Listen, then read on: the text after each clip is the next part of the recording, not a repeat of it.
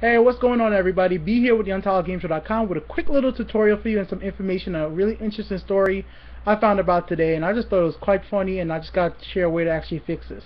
If you got an iOS device and you went ahead and downloaded Deus Ex The Fall, well, you might be out of luck because if you're jailbroken, your gun is gonna jam up, which really sucks ass after the movement tutorial. So what's going on? Square Enix has put in a little bit of code that makes it so that your gun does not work. That's the tranquilizer or any other gun in the game. If you're on a jailbroken device, for whatever reason they've done this, I'm not really too sure. But guys, there is a way to actually go around it. And what you guys need to do, if you have Cydia installed on your iPod or whatever else iOS device you have, look for a tweak called XCon.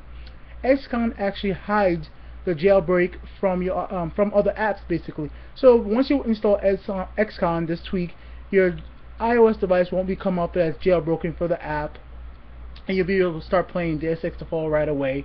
This works for other apps that make you not be able to work as well with jailbroken because it says, oh, you're jailbroken. Like there was like I think Verizon TV and some other stuff like that as well, where it says, oh, because it's jailbroken, you can't use this app.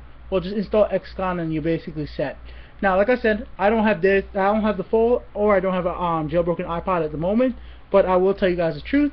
About a year ago, I used to um, jailbreak iPods, iPhones, all that type of stuff for people in this place I used to work.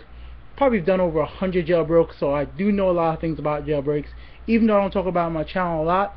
So I do know about XCon, so go ahead and search for that in the Cydia store. It's called XCon, simple tweak. It'll let you play your game perfectly fine. Just look it up in Cydia if you have a jailbroken iPod. Alright guys, be with theUntitledGamesShow.com. I hope this helps out anybody that needs the help with it. Till next time, like, subscribe, and read the description for more information. Peace.